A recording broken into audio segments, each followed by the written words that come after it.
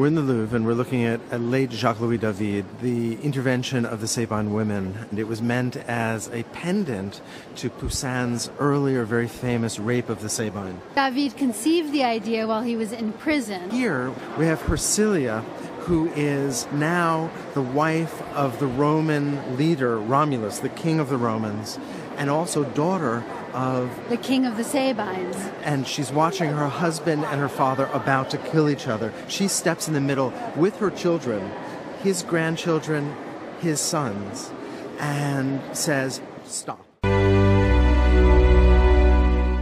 Right now, we're looking at The Sabine Women by Jacques Louis David, painted in 1799.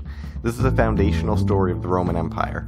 When Romulus and his followers settled in the city of Seven Hills, they were mostly men, needing to populate the city. They abducted women from the nearby Sabine tribe. They took the Sabine women as their wives to the discontent of the Sabine men. Consequently, the Sabine men attacked the Romans.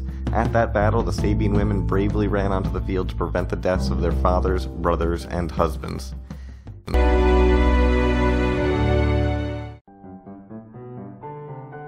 Jacques-Louis David (1748–1825) was an influential French painter in the neoclassical style, considered to be the preeminent painter of the era.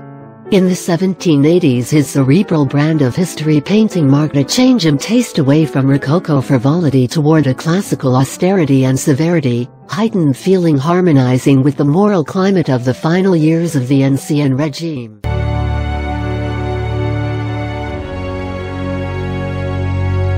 Goes that the women are wooed by the husbands who treat them tenderly. The women do fall in love with their husbands. They have children, and then they're attacked by their former families, the uh, fathers and brothers. They attack the city hoping to get the women back. And now the women have to intervene and they interpose between their husbands on the one side and their fathers and brothers on the other side and make peace. So